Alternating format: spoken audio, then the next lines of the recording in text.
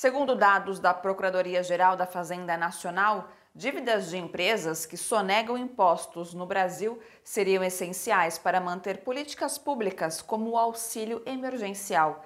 Veja mais detalhes na reportagem de Igor Carvalho, do Brasil de Fato. Somadas, as mil empresas que possuem as maiores dívidas ativas com a União sonegaram mais de 754 bilhões aos cofres públicos. Se esse valor fosse quitado, o Brasil poderia pagar 14 meses de auxílio emergencial aos trabalhadores informais, autônomos e desempregados. Entre as maiores dívidas, há uma predominância de empresas ligadas ao agronegócio. Desse setor, quem lidera é a Vale, empresa responsável pelo desastre de Mariana e Brumadinho e a Samarco, mineradora que integra o mesmo grupo comercial. Juntas, as empresas devem 45 bilhões à União.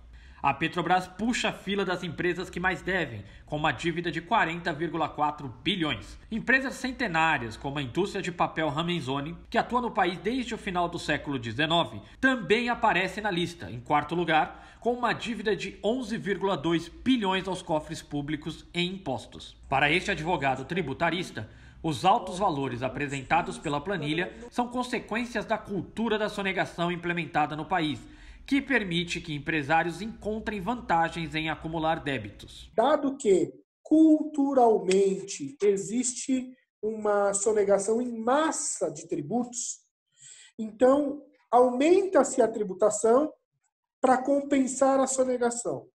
Né? E isso é uma coisa muito errada, porque no final das contas você acaba punindo quem paga tributo. O advogado explica como funciona a medida. As empresas fazem um cálculo.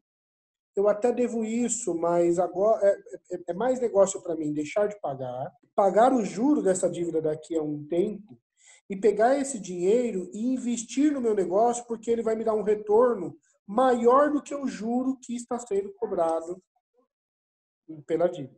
Por outro lado, ele explica que a dívida das empresas pode até ser menor do que foi anunciado pela União. Esses dados também vão comportar autuações fiscais dessas empresas, muitas delas devidas, e aí é dívida verdadeira, mas algumas que são discutíveis. A complexidade da estrutura tributária brasileira muitas vezes faz com que o fisco autue e cobre tributos que, na verdade, não são devidos mesmo então a gente só precisa fazer esse, essa, essa divisão.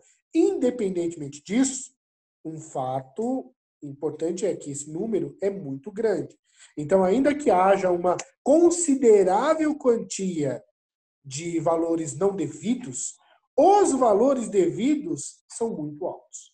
Gente, bora fortalecer a TVT? É só clicar em inscrever-se e depois clicar no sininho. Pronto! Assim que pintar notícia nova, você fica sabendo no ato.